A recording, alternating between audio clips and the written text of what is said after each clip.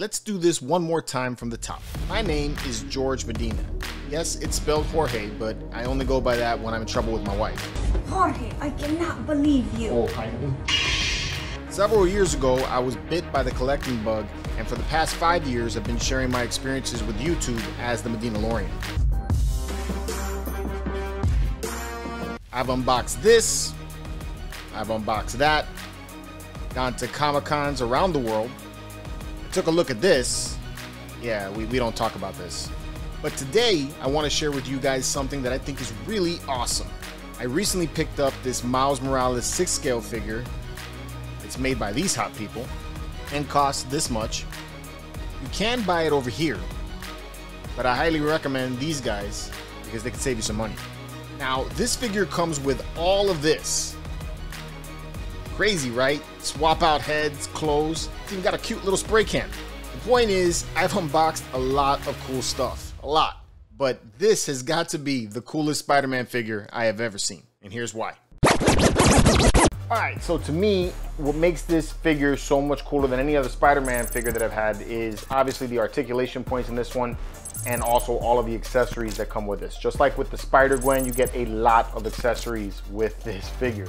So let me show you some of the accessories and then go over the articulation with you guys so you can see what you can get out of it and then we'll get into some posing. All right, first up, you get a backdrop, just like you got with Spider-Gwen. Now, this is pretty cool if you want to take and display this this way. I do not like the way they package these things in the box, and as you can see, mine got bent in the in pack in the uh, shipment, so that kind of sucks. You get these uh, different little decals that you can put on it, you know, to make it your own. Not something I'm going to use, but it's an option if you want to display it that way. Just like with the Spider-Gwen, you get a really cool display plaque and I really like the way the base looks. You have, you know, a very glossy shine. I don't know if it's being picked up there. It doesn't look like, there it is. You can see some of the gloss there and the logo, but then everything else is matte. And then you get the new style stand so that you can make him uh, look like he's, you know, flying through the air, which is really cool. And then you get the waist grabber. Another cool feature that I like about this. You get optional heads and the portraits look outstanding. I mean, they look just like the character from the movie. I am digging this so much. Look at this. You got the more innocent version, I guess you could say, and then you got a more confident Miles Morales there now that he's got his abilities. So that's cool. Really love that. Really love the jacket and the hoodie that you could put on him, which is the way I'm gonna be displaying him. And it's posable. There's wiring in here so that you can make this, you know, pose the way you want to and really give it, you know, some nice um, you know, dynamic feel to it. And you get some shorts to go along with it. You get the original outfit that he had on at the beginning of the movie. So you can have him in that, all right? When you display him that way, you get some options for his uh, neck so that you can make him look like he's not wearing the suit. And this is kind of like a rubber material. And then the same thing for like his lower ankles. And you get the socks. And the socks even have stitching and detail in that too. Super, super cool all right? You get some other stuff that I obviously will not use. So you get like the uh, Spider-Man mask and everything that he bought from Stan Lee at the beginning of the movie. And you get some stickers so you can stamp them all over the place if you want to. I'm obviously not gonna use those. And you get this card here, which is basically something else you can use, okay? You get swap out eyes. So just like with Spider-Gwen, the eyes pop out and then you can take and display your eyes the way that you want to. You got that. Awesome. You got web slinging. You know, you got that. You got, like I said, a spray can of all things. And the cap comes off, which is very interesting. So you can uh, you can make it look like he's spray painting. And it's even got wording on there, which is which is really cool. I love the way they did that with the bottle. So very, very awesome. Now there's no articulation points in the fingers. They do have some swap out hands. All of the hands are a rubber material, so they flex, all right? But nice details, like you can see the nails and everything. And then you got swap out hands also for, um, for his Spider-Man suit. You got different ones. You got these, which look really neat. Look like it's like, like he's uh, balancing himself on the floor or on like a wall or something. You have a couple that have the hole in there so you could put the web sling in there to make it look like he's slinging. All right, and you got some open hand ones. You got one like this. all right? And then you also have one that's way open hand like that. Also very nice detail. And I like the way they look, made it look like it's been spray painted. The paint's been spray painted on there like it did in the movie. So there's texture there and all that, which is very cool, all right? So that's all of the little different accessories. But what really, really makes this figure stand out, I think, is the design of the suit. So you, if you take a look at that, there's a difference here between this mannequin and then the Spider-Gwen, and also the way the suit was designed. So I got the Spider-Gwen right here. Here's how they look standing next to each other. You can see that they're pretty much the same height, all right? Suit design's a little bit different. The suit on Spider-Gwen is more of like a vinyl material, which is, is nice, but it forms her body really well. But then the problem goes into when you're taking and trying to pose her, uh, it could tear the, the suit, which that kind of sucks. Uh, this one does have a lot of articulation as well. And in some cases, more articulation than, uh, than Spider-Man over here, than Miles Morales. So we're gonna go over the differences between those two. Spider-Man though, Miles has more of a cloth suit, which is very nice.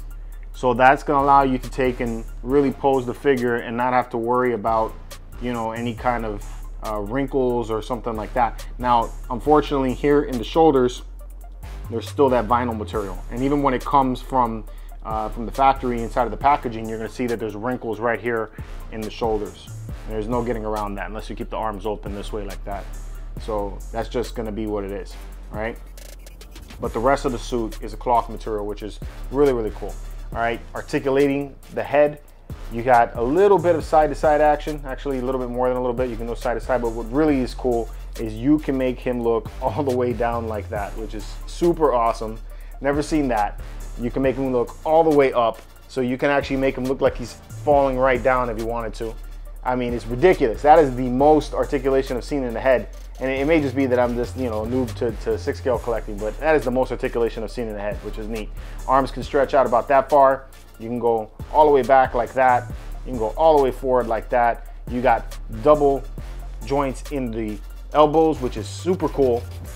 Downside though, you have no articulation in the wrist other than turning, which is really weird because the Spider-Gwen, she has articulation. So if you look at hers, you can actually twist the, the wrist in and out and side to side if you wanted to, which gives you a little bit more balance.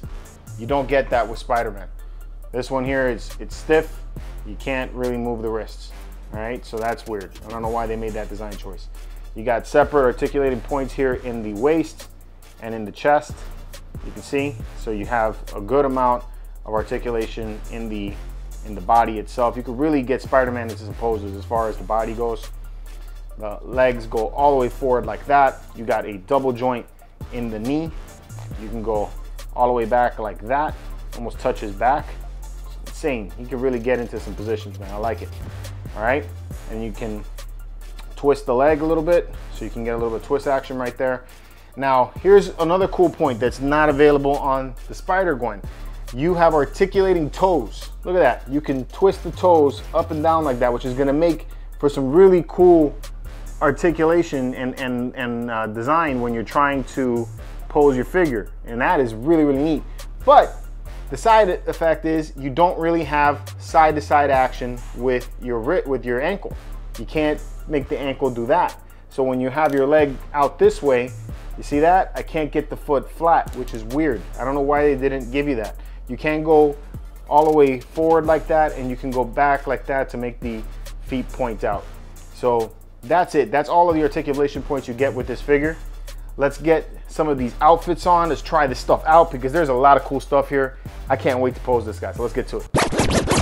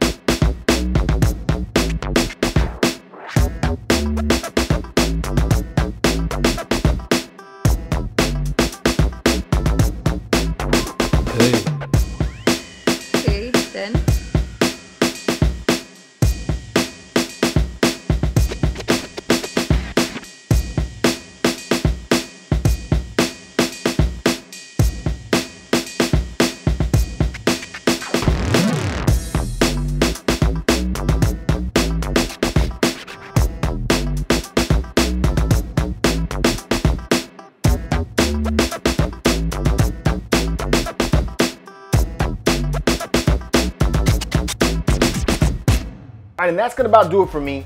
My final thoughts on this figure is this is my favorite Spider-Man figure that I've ever had in this room. I can't tell you how much fun I had posing this guy. It was really awesome. I like the way he looks with Spider-Gwen. Uh, it's by, by, it has its limitations, all right? Uh, it's not perfect.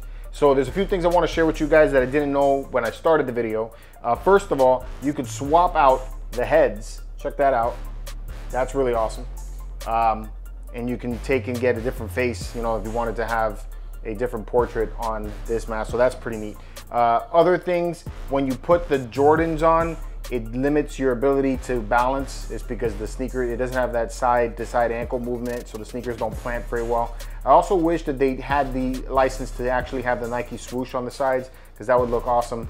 But my man Anthony from uh, Six Scale Mafia, uh, he hit me up and told me about uh, some aftermarket ones that I got on order now, so I'm gonna be able to um, check those out soon. So we'll see how they look on this. So shout out to him, really appreciate that. Uh, also, when you want to put him into the you know original suit outside of the Spider-Man suit, like if you wanted to look like regular Miles, putting on these ankles and socks are real pain in the mother, bro. It is really really hard. Um, what I would suggest is to take him. This separates the sock separates from the actual skin. Put the skin on first, and then slide the sock on you're still gonna have a fight with it. So it, it is a little bit of a, of a difficult uh, thing to do. So that's uh, a few things for you to mention about this figure as far as uh, some, some stuff there. Also, be careful with the wrists. It's because the sleeves tend to pull back a little bit. So that's something else. But other than that, I think everything else is really awesome. I like the fact that you can make him look like just Miles outside of the suit. You could have him with the shorts and the hoodie and everything like you saw him at the beginning with the Jordans, which is the way I'm gonna wanna display him. Definitely, I like this suit, but I like it better with the hoodie and the sneakers. I think it looks dope. And then you can also have him like this, uh, and you can do some real Spider-Man poses with this thing, is what I really, really like. Um, if they had a little bit more ankle movement and a little more uh, wrist movement, I think you could get even more. I don't understand why they didn't, they chose not to uh, to give you that mobility. It doesn't make sense to me. So I, I still don't know what the deal with that is. But other than that, I think this thing is dope. So if you're on the fence about getting this one, I recommend it. I think it's a badass Spider-Man figure. Let me know what you guys think about this one in the comments below. And until next time, keep it marvelous.